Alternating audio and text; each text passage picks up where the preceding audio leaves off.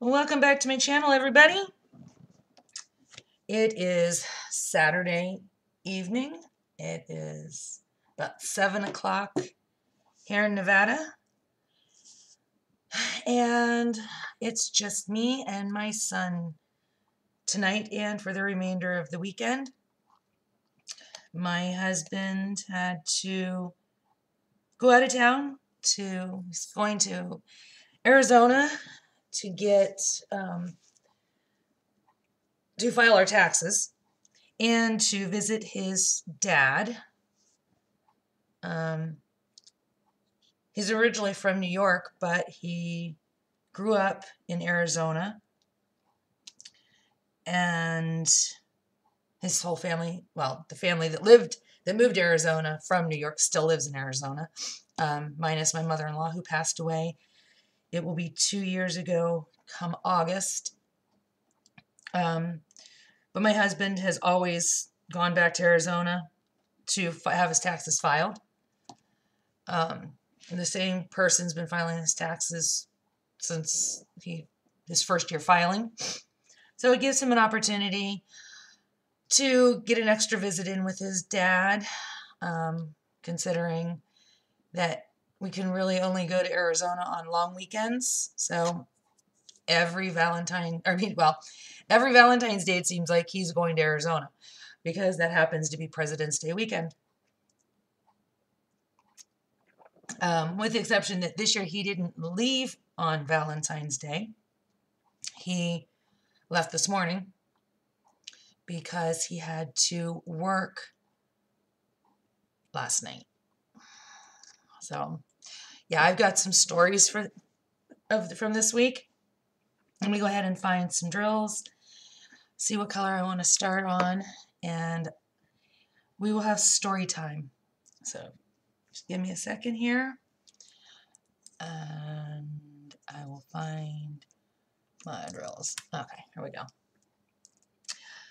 So, I think I may have mentioned on Monday that I was I started babysitting, and um, I had him Monday, Wednesday, and Friday of this week, and uh, Monday was more difficult than Wednesday but Wednesday or Friday was more difficult than Wednesday was. Um, on Monday, I had him from 10 to 6, I think. Wednesday was 11 to 7. And yesterday, being Friday, Valentine's Day, I was supposed to have him from 12 to 8. But then I got a phone call from his dad telling me he was going to need to drop him off early. But he didn't know exactly what time he was waiting to find out from his boss. So he ended up dropping him off at like a quarter to 11. And he was supposed, he said he, because he was going in early, he'd get off an hour early. So instead of 12 to 8, I was supposed to be 11 to 7. Um, then he called about 3 o'clock and told me that he was going to work, end up needing to work until 8.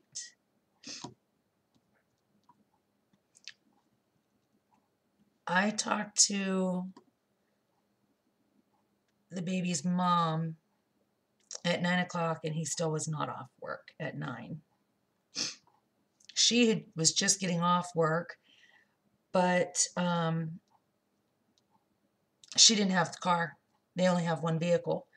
So um, she was having a, one of her coworkers take her home. She really couldn't um, come and get the kids because the car that her coworker has, there's no room to put a car seat in it. So she said that if he wasn't, if her boyfriend wasn't off work by 9:30, that um, sorry about the noise with my phone in the background here. Um, if he wasn't off work by 9:30, she would call me. Well, 9:30 rolls around and he's still not off work. So we had and he had no idea what time he was getting off work.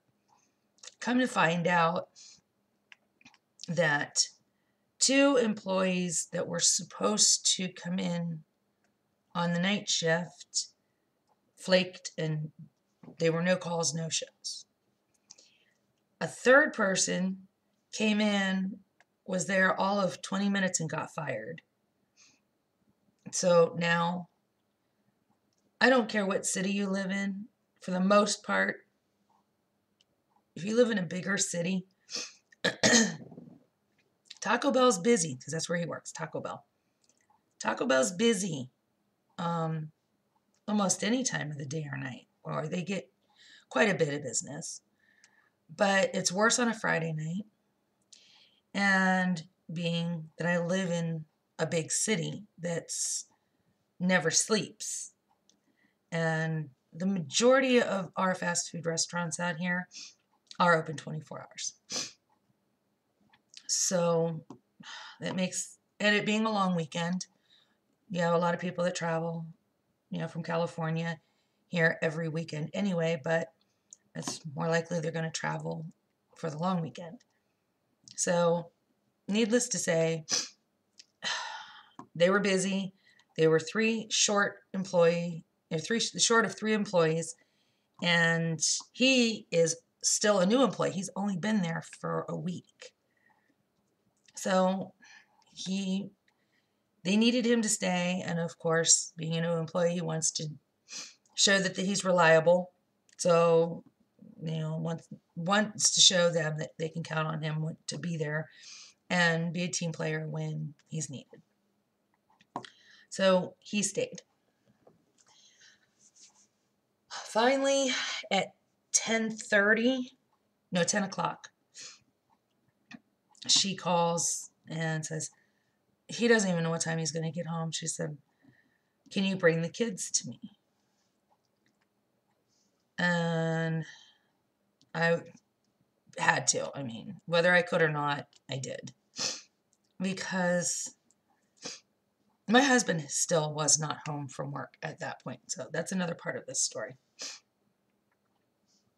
Um, so I loaded the kids up. The baby was sleeping. Fortunately, I was able to get his jacket on him and get him in the car and just wake him up just lightly. Um, by the time I started the car up and got moving, he was back to sleep. So that was good. Um, his brother, on the other hand, go back to 315 when his brother got out of school and I drove over to their house so I could pick him up from school, or pick him up, oh, you know, from um, getting out of school because he it's just down the road, so he just walks. Um, and then bring them, bring him back here to my house. And I just had my son sit with the baby, excuse me, while I ran over to do that. My son's 15 years old, so to be alone just for a few minutes with the baby, it was fine. Um, the baby was asleep anyway, so, you know, it wasn't anything he was going to have to worry about doing. So I uh, drive to the house and realized, you know, he's probably still walking from the school. So I drove down the street figuring that I'd be able to catch him and just have him jump in the car and, you know, go. Well, I seen him and I told him, I was like, come on, Let's get in the car. Let's go to my house. And he tells me he can't, that he has to walk with his cousins. I mean, I mean, the child that I was picking up has four cousins that are siblings. and the oldest is two years older than the boy that I was picking up. And that one that's two years older than the one I was picking up happens to be a boy. So there, I didn't quite understand the whole I have to walk my with my cousins thing. Um, no one had informed me of this, so pretty much expected it to be, you know, baloney. Which in turn I found out was. But I told him I was like, okay, well, get to the get to your house, and I will meet you there, or you will meet me there because I will get there before him. So I turned around and drove back to his place, and they live in a gated community. So I had just I had pulled up to the gate when my husband calls. I'm talking to him, which, like I said, I will tell you about that in just a minute. And in the meantime, the child's mother calls me. And I had to send it to voicemail because what my husband needed to talk to me was important. And, I, you know, he doesn't have the opportunity just to call me back. So I figured she could just either leave me a message or she would call me back. So I pull up to their house and I figured there was really no sense in me going in because I was just going to put the kid in the car and we were going to leave.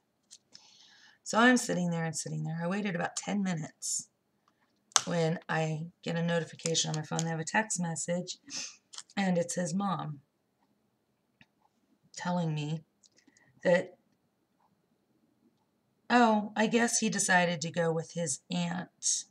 Sorry about the confusion. And I'm like, you know, when I stopped him on the street and told him, you know, he was coming with me, he asked me, can I just stay home by myself? And I said, no, you're not staying home by yourself. I, you have to come to my house. I need you to help me keep an eye on your brother to keep him occupied. Because he had been with me all day. He was tired of seeing me. He needed to see something familiar. Um, my son tried playing with him, and you know he doesn't know my son that well, so you know he was getting he was getting fussy. Plus, on Wednesday we had made plans for last night. We made plans that we were I was gonna make the boy's favorite food because he's very picky. And we were going to, you know, kind of just hang out, watch some movies. And that's exactly what I, I did my part. I went, and I just, he's very picky on what he eats. And when I first started watching him, he did not like macaroni and cheese. He claimed he did not like it. Well, come to find out, he didn't like the way his mom made it. Um, I just buy Blue Box Kraft macaroni and cheese. The thick and creamy. I mean, I make my own. I make my homemade for my family. But for him, when he would come home from school, he would always be so hungry. And he didn't have time to wait. You know, he didn't want to wait until we ate dinner. He wanted to eat right away. And a lot of times um, he was going to be picked up and have to go to Scouts or Kempo or something like that before he could eat anyway. So I just started buying the Kraft macaroni and cheese, but I would get the thick and creamy. I'd make it according to the box directions, with the exception I would add a little more milk to it, and then I would add shredded cheddar cheese and mix it up, and it would make it more creamy and take the artificial cheese taste away. Hold on one second. My son's calling me. I'm back. Sorry about that. So yeah, it's just thick and creamy Kraft macaroni and cheese with extra cheese added, uh, you know, shredded cheese added. Like I said, that, that takes the artificial cheese taste away from that powder cheese. So I told him I would make that up and I was going to have smoked sausage and corn. So I made all this stuff up and then he tells me he's not coming. I tell him he is. I get to his house and he's not there. Come to find out, yeah, he went with his aunt. Now, not only did he go with his aunt, he, he messaged his mom and asked her. And he messaged her like five, ten minutes after I went to pick him up and seen him on the road. He asked if he could go to his aunt's. and or if he was supposed to go. He asked if he was supposed to go with his aunt. He knew he was supposed to go with me. He knew this. This is something he's had planned out. It was just too easy. Um, and before he even had an answer from his mother, he just went.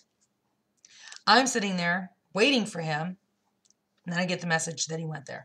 So, needless to say, I was very upset. One second, need a sip. Drinking. Oop, can't see it. Drinking coffee. Yeah, it's coffee. Um, I messaged her back that I was very upset about this because I had already talked to him. I had already seen him. She apologizes. She's working. And she works in a uh, quick care, so she doesn't have time for all of this. I message him telling him that I was not happy. He ignored that. I messaged him and told him to call me. He ignored that message. I messaged him letting him know that we were going to have a talk about this. He ignored that message. I tried to call him and it got sent to voicemail. So yeah, I was I was pretty upset. So when his mom's boyfriend, I might as well say his stepdad, because eventually he will be, called to um, check on the baby, I told him the baby was fine. I was having problems with his stepson. And he said, "What? He, he said, "What? He take off?" And I said, "No." I said, "Because I said I don't." He, I said he never even showed up. I said, and we're at my house anyway. I didn't decide to watch the kids at your place because I said, you know, if I'm going to be there for eight, nine hours a day at your house, that's taken away from things that you know my time to do things in my home. So, and I wanted to get things done around here. So I stayed here and watched the kids, or well, watched the baby, and planned on having the brother. And he said, What do you mean he didn't show up? And I proceeded in telling him, Oh, yeah, he was not happy at all. So he told me he'd call me back. He said, he said, I'll call you back, or his mom will call you back. But I'm going to call her and I'm going to tell her, because I don't have the aunt's number, I'm going to tell her to have him get to our house. And I said, well, if he goes to your house, he's just going to take off again because nobody's there to stop him. And I said, so tell him to get there and I'll, I'll go over and get him. So I get a phone call from his mom.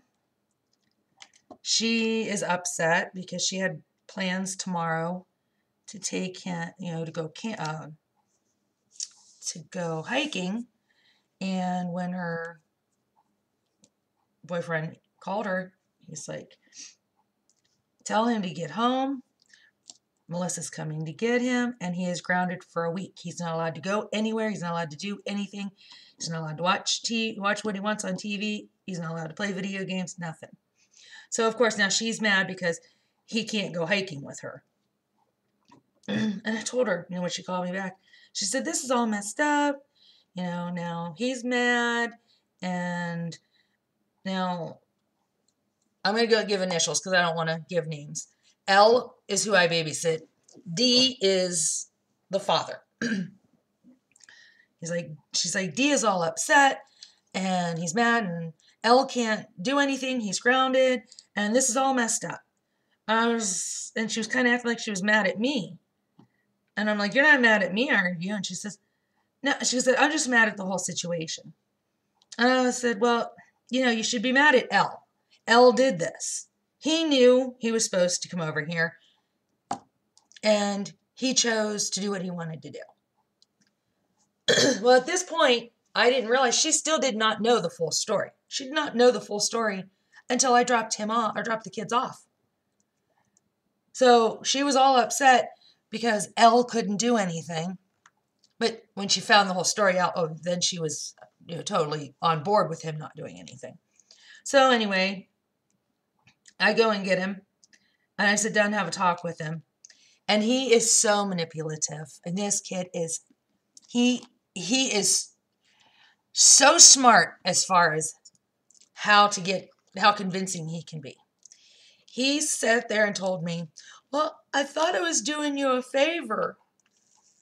And he said, "And my mom said I could go." And I said, "Lorette or L, your mom thought that I said you, you know could go, or that I asked told you to ask her. She thought I was fully aware of everything that was going on. And of course, I said I wasn't. And I said, she had no idea that I had been there to pick you up and that you went and did something else. And she also didn't realize that you went without her giving you the okay. and he said, Well, I was trying to help her out and help you out. I thought it would be easier for you if you only had one kid to watch instead of two.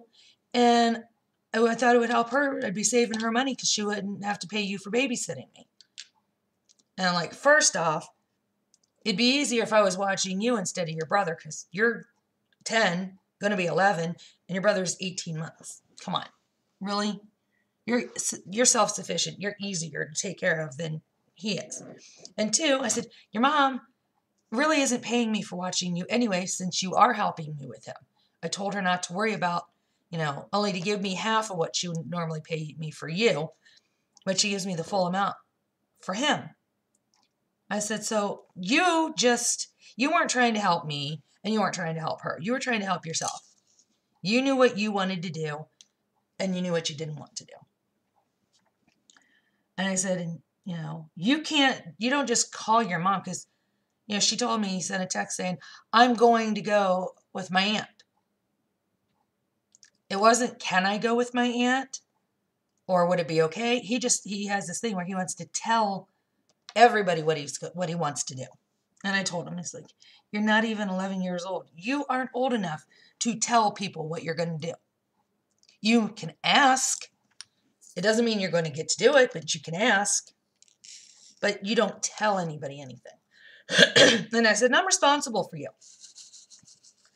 You know, as far as everybody knew, I would you were supposed to be with me. So if something would have happened, it would have fallen in my lap because you were supposed to be with me and you weren't. So, yeah, we get to that part. Now, let's take a break from that just for a minute. Because my brother, like I said, my husband, I was going to say my brother. I don't know why I was going to say my brother. My husband was not home from work yet. My husband went into work at 3 o'clock Friday morning he worked until 11 o'clock p.m. Friday night. 20 hours. On Wednesday, he worked 17 hours. On Monday and Tuesday, he worked 10 hours. And on Thursday, he worked 11 hours. So, yeah, he's basically, he's going to work. He's coming home. He's eating. He sits down at the kitchen table and falls asleep. I wake him up and I send him to bed. And that is how this week has been. And they wanted him to work 12 hours today, being Saturday, 12 hours on Sunday, and 10 hours on Monday. He couldn't do that. He's out of town. So when I left to go take the kids home, I called my husband and asked him, you know, what time, if he was going to be getting out of there on time or not. And he said, yeah, as far as he knew. And I told said, well, I got to take the kids. I'll drop them off and then I'll, um, I'll be home. So after I dropped the kids off and sat down and had a talk with the mom, and she then realized that no, I wasn't aware of what was going on and that he hadn't even gotten permission before he was over there I was he he's grounded. But I did tell her, I said, you know, because I mean I was mad, but after we sat down talked, he did apologize to me. Now whether he was sincere about it, I don't know. He sounded quite sincere. And he usually doesn't apologize to anybody anyway. Even if a, even a fake apology he wouldn't make. So because he did, I just told him, I said, well, we're not doing that anymore. When you're supposed to be with me, you will be with me. the dad called later on. I talked to him, and we made it made it the agreement that the only time that he is supposed to call his mom or his dad is if there is an emergency. If he wants to go someplace or has a question about something, if it's a question about something that has nothing to do with, you know, where his whereabouts, he can wait till he gets home or till they get home. They're not going to bother them at work over nonsense. If he is asking if he could go someplace or do something during the time that he's supposed to be with me, he is to call me. And I am the one that makes that uniform decision on whether he gets to go or not. Whatever decision I make, if his parents don't agree with it, we will discuss it between the two of us or the three of us. But nine times out of ten, the answer is going to be no because I don't want that type of responsibility. When he's with me, he's supposed to be with me, he's going to be with me. He's already being taken on Tuesdays and Thursdays. I take him and drop him off at Scouts on Thursday eve- or Tuesday evenings, and Kempo, which is some kind of martial arts stuff, on Thursdays. And then starting next week, I will be dropping him off on Tuesdays, Wednesdays, and I mean Wednesdays and Thursdays at Kempo and Tuesdays at Scouts. So he's it's not like he doesn't get to do anything. So yeah, I've had kids all week and I haven't seen my husband. My husband wakes up this morning. Well, I wake up this morning at eight o'clock. I take, I'm running out of the bedroom, and we sleep. We're right now we're sleeping in separate rooms because of his schedule. Um, he's when he gets off when he works his regular 10 hour shifts he comes home and he's back he comes home at like quarter to five. He eats dinner. He takes a shower. He falls asleep sitting there trying to watch some tv and by 8.30 i'm sending him up to bed. Um, i can't go to bed that early. Even if i wanted to i couldn't go to bed that early. I don't want, and he's waking up at three o'clock in the morning. So I don't want his alarm to be waking me up at three or me to be waking him up when I come into bed. So just temporarily right now with his crazy schedule, um, I'm sleeping in our guest room, which is fine. The bed's more comfortable anyway. Um, but I come running out of my room and see he's still laying in bed because it's just down the hall, and I could see we have French doors on our on our bedroom. We have French doors, and they're wide open. So I seen him laying in bed. I was like, "Oh my God, Mike, what are you doing up? Or I mean, what are you doing in bed? You're supposed to be at work." He's like, "Honey, it's Saturday." I was just like, oh, "Okay, go back to sleep." Come downstairs and I have my coffee set up to automatically brew, so the coffee is ready when I come down the steps.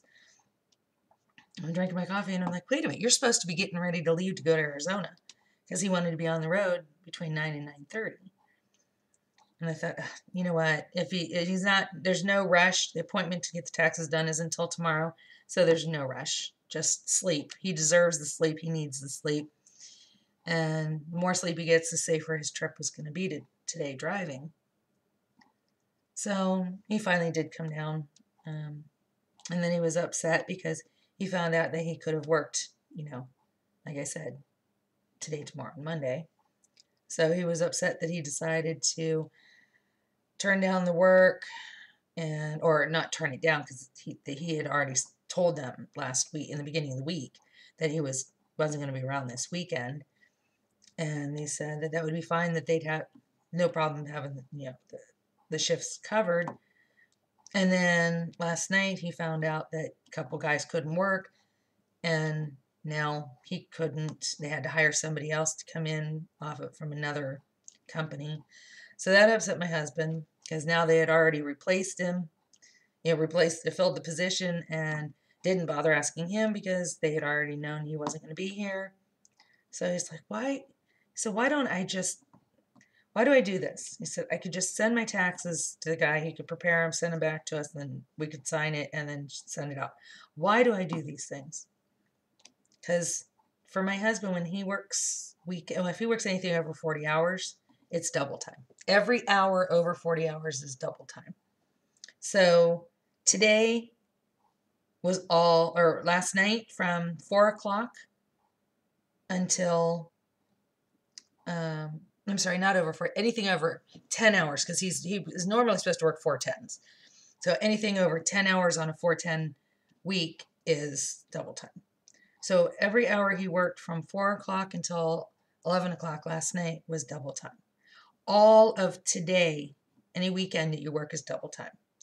And any holiday you work is normally triple time if you work holidays, but because President's Day is one of the is the only paid holiday or uh, non-paid holiday that he has in his trade. So if he would have worked on Friday or on Monday and being a holiday instead of getting triple time, it still would have been double time. So in other words, he could have worked today, tomorrow, and Monday. He would have worked worked 36 hours, but he would have gotten paid for 72. And he didn't take it because he had already made the appointment, had the arrangements to get the taxes done. So he was he was not happy when he left today because he's thinking I could be working and instead I'm driving to Arizona. And he's like, and I'm gonna I'd be making a whole lot more money than I'm gonna get back on my taxes. I was like, well, money isn't always everything. And he's gonna have this crazy schedule that he's working right now for the next nine months. So he'll definitely make up, you know, for missing this weekend. So yeah, like I said, between the kids that I've been watching and my husband who has not been around because he's been working or sleeping, I'm dealing with my hormonal 15 year old son. Um, the mood swings and the temperament and add the autism spectrum disorder to that, and he is just a raging bull. Constant attitude and mouthing off and struggling getting him to do his schoolwork. He was pulling all straight A's and B's the first two quarters. Now we're in the third quarter and he's not applying himself. He's rushing through his work to get it done. He's not getting it done properly. So on the 27th, I have to go to the school and sit down with the IEP, which any um, for anybody who doesn't know what an IEP is, an IEP is an individual educational plan. And this is for students who have some form of a special need or learning disability um, it just gives them, it, it, they have different services that are offered and stuff. Now, my my son does not take any um, special needs classes. He is all he, all his classes are regular freshman classes, um, but he does have struggles with math. So the services that's offered to him is that he has a teacher that sits down and verbally um, gives him the questions. Is my son, he, you can ask him a math question, he can tell you the answer, but if he has to put it on a piece of paper and show the work, you know, show, show how he got the answer, he can't do that. That's where the information gets really lost in translation. He does not know how to express um, how to do it. So they will um, sit down with him and go over that. But um, so on the 27th, I go in with the IEP team. There's a whole team of people. There's all of his teachers. There's the principal. There is the, they do have a learning disability teacher that comes in um, just simply to give us suggestions and the you know information that we need to help him. um, there's the principal, there's the assistant principal, there's the guidance counselor. Yeah, there's a, there's about excuse me, he has eight teachers. There's about 15 of us in there. No, 15 of them plus me. So we will sit down. He was due to have his IEP revised in this coming October, but we are going to um, do an early revision on that just to see if there's anything um, that we can do to allow him um, more time to I mean, well, he already has plenty of time to this, more opportunities because he goes to school only on Mondays. He goes to a charter school. So he is in school Mondays from 7.30 in the morning to 11.30 in the morning. And then Tuesday through Friday, he does his classroom assignments online. Well, he has been coming home saying, I'm getting everything done in class on Monday. So all I have to do is sign on every day just for attendance sake. Because if he doesn't, if each day that he doesn't sign on, they consider that a day missed. And each day missed that's not made up in that same week equals five days missed to school. So he signs on just long enough for it to register that he signed on, and then he logs off and he doesn't do anything else. So now he's going to start going to school Mondays, Wednesdays, and Fridays. When he goes on Wednesdays, there are no classes on Wednesdays. Wednesdays are lab days for all the students that need to catch up on assignments or have struggles. They go into the labs, and all the teachers are in the labs and they can help, you know, for each subject. Or they'll have a teacher there, not all the teachers for each subject, but there'll be one teacher in the lab on Wednesdays per subject. So There'll be a math teacher. There'll be a science teacher. There'll be a um, English teacher, so on and so forth. So he's going to start going on Mondays for his regular classes, Wednesdays for some help getting caught up, and Fridays to get just to be able to get some extra help there as well. Um, he has three attempts on his quizzes or his assignments. So it's like, I think it's assignments, there's three attempts, and quizzes are two attempts to get a better grade. So, first time, if he doesn't do so well, he can take it again and um, for a better grade. And then they'll go with whichever grade is um, better of the two. Um, and then, like I said, some some of them are three times. Well, he'll take one. He'll take a quiz. He won't do well on it because he rushes through it. And when I say he rushes through it, I mean he rushes through it. He can have, you know, 10 questions and he's done in like five minutes because he's not reading the question thoroughly or he's just guessing at what he thinks he knows. He'll look at the he'll look at the multiple choice answers and just pick one. Um, so he can take off and play video games or computer games or play on his guitar or whatever, which um, I don't need anybody to tell me. Well, you know, you're the mom. Uh, hold on.